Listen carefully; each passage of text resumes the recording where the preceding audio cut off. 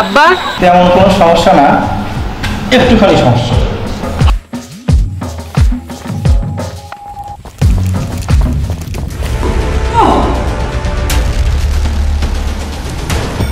আমার মারবেন না।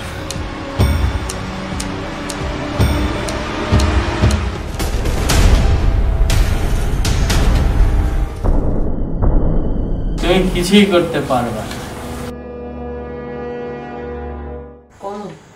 পড়ে গেছিল।